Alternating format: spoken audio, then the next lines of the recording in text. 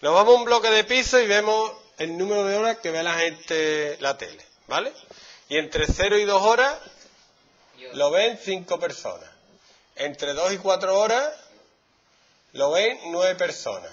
Entre 4 y 6 horas,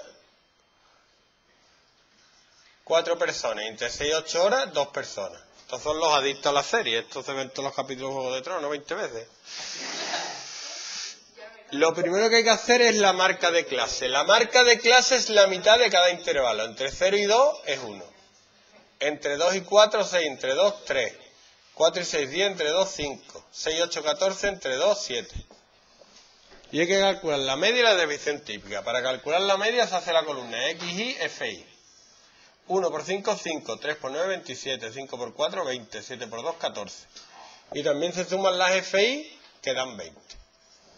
Si sumo XY por FI, 5 más 27 más 20 más 14, 66.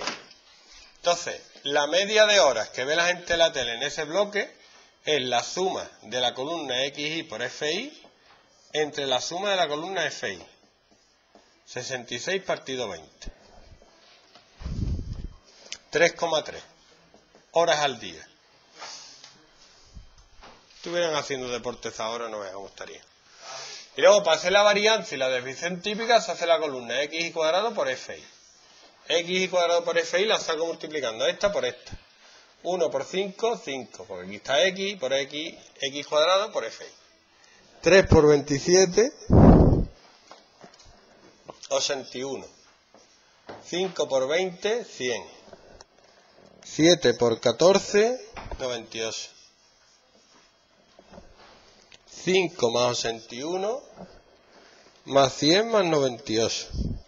264.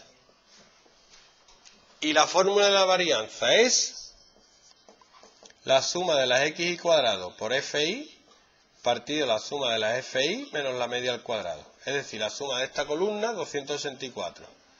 Entre la suma de las fi también se llama n, 20, menos la media al cuadrado.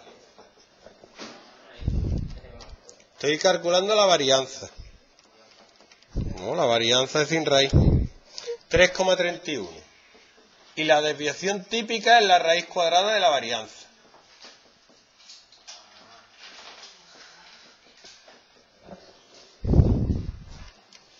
1,819. ¿Estáis bien, no? Pues venga, otra cosa mariposa.